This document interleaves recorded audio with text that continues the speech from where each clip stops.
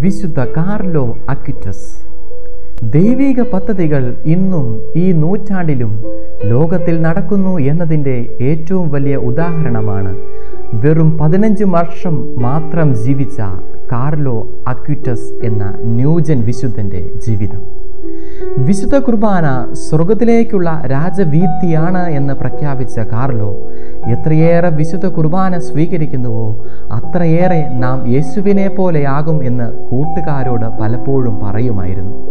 ആയിരത്തി തൊള്ളായിരത്തി തൊണ്ണൂറ്റി ഒന്നിലാണ് കാർലോ അക്വിറ്റസ് എന്ന ഈ പുണ്യവാന്റെ ജനനം. യേശുവിനെ ഏറ്റവും ഏറെ സ്നേഹിക്കണം എന്നുള്ളതായിരുന്നു അവന്റെ ആഗ്രഹം. അതിന് എന്തെങ്കിലും ചെയ്യണം എന്നുള്ള ആഗ്രഹം അവനിൽ ജ്വലിച്ചു നിന്നിരുന്നു. ഒമ്പതാമത്തെ വയസ്സിൽ നൂറ്റി അൻപതിലേറെ വിശുദ്ധ കുർബാന അത്ഭുതങ്ങൾ ഒരു വെബ് സീരീസ് ആയി അവൻ ഒരുക്കി. ലോകത്ത് ഇന്നേ വരെ ആദ്യമായായിരുന്നു ഒരു വ്യക്തി വിശുദ്ധ കുർബാന അത്ഭുതങ്ങളുടെ കളക്ഷൻ ഒരുക്കിയത്. സമ്പന്നമായ കുടുംബത്തിൽ അവൻ ജനിച്ചെങ്കിലും പരിമിതമായ സാധനങ്ങൾ മാത്രമാണ് ഉപയോഗിച്ചത്.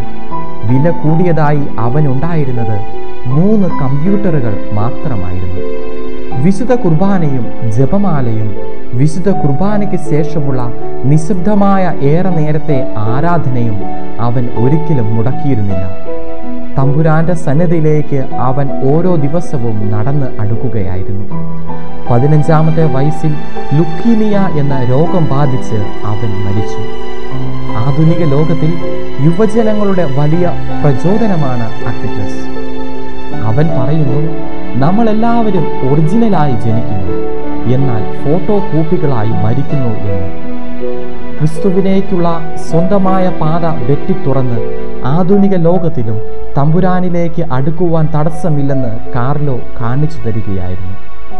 ഈ വർഷം കാർലോയെ പരിശുദ്ധ മാർപ്പാപ്പ വാഴ്ത്തപ്പെട്ടവരുടെ പദവിയിലേക്ക് ഉയർത്തുമ്പോൾ തമ്പുരാൻ നമ്മോടും പറയുകയാ ലോകവും അതിന്റെ മോഹങ്ങളും കടന്നു നീ എന്നെ അന്വേഷിക്കുക. എന്നെ മാത്രം അന്വേഷിക്കുക എന്ന്.